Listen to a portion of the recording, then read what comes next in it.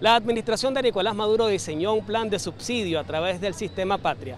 Con este carnet que tengo en mi mano, los ciudadanos pueden recibir una bonificación mensual que no supera los 3 dólares. Para conocer los detalles de esta situación, Punto de Corte salió a preguntarle a los ciudadanos qué es lo que pueden comprar con estos bonos. Una bolsita de pan nada más. Eso no alcanza para nada. ¿Cada cuánto te llega? Uh, eso una vez al mes, sin caer en mentira. Y eso no alcanza.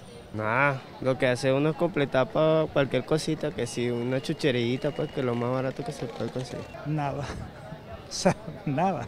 O sea, yo no sé de los bonos, o sea, no, de verdad. ¿No le llega? No sé, porque de verdad que no, oíste, no. ¿Usted tiene carnet de la patria? Yo, yo lo tengo, pero no, de verdad que no, no he revisado eso, porque es que es tan poquito. No, es que a mí no me llegan bonos de la patria.